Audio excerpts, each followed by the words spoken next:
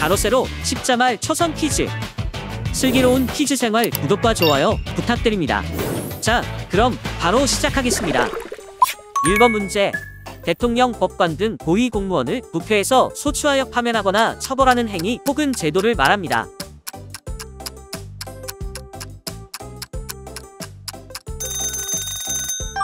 정답은 탄핵입니다. 2번 문제.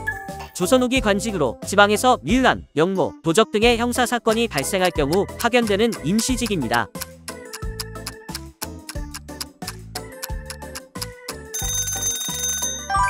정답은 안핵사입니다.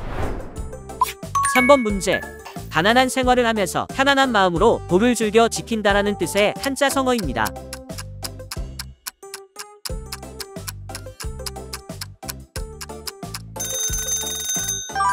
정답은 안빈낙도입니다. 4번 문제.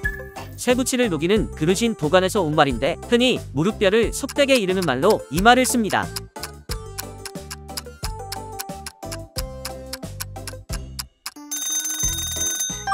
정답은 도가니입니다. 5번 문제. 백조의 수누리 말로 영화 타짜 1편의 주인공 별명이기도 합니다.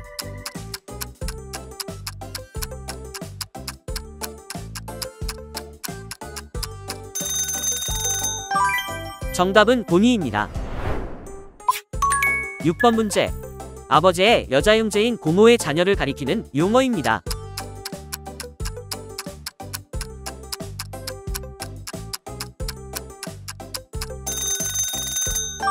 정답은 고종사촌입니다.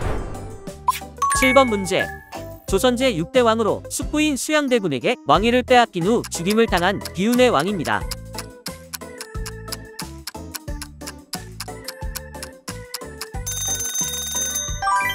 정답은 단종입니다. 8번 문제. 미국 육군의 탄도탄, 요격유도탄 체계로 정식 명칭은 종말 단계 고고도 지역 방어입니다.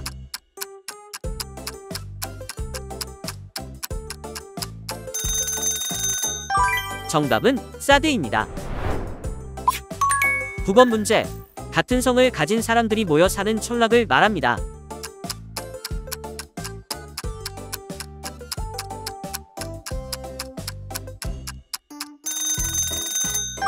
정답은 집성촌입니다. 10번 문제.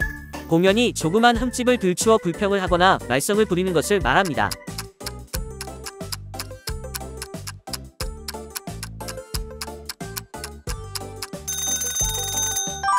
정답은 트집입니다. 11번 문제. 이술에 붉은색을 내기 위해 바르는 묽은 액체 타입의 연지를 말합니다.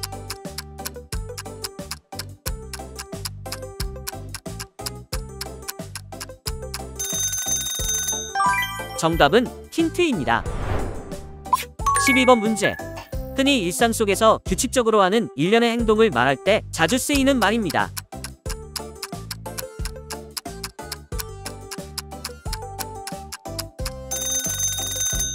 정답은 루틴입니다. 오늘 준비한 문제는 여기까지입니다. 시청해주셔서 감사합니다. 다음 시간에 만나요.